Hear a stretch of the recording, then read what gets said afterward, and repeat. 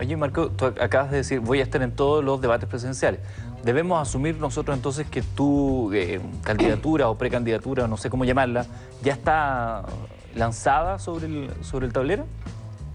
He recorrido el país, veo una ola de esperanza. Veo un país donde le- la certeza es que Piñera no fue el cambio y los que tuvieron 20 años no van a ser el cambio. No me voy a restar de estar presente en las municipales con los 1.100 candidatos y candidatos y no nos vamos a restar en 2013. ¿Qué significa no nos vamos a restar? Porque a- vamos a estar veces- presentes. Ya, pero ¿qué, ¿vas a ser candidato? Voy a ser candidato, por supuesto, pero hoy día no soy candidato.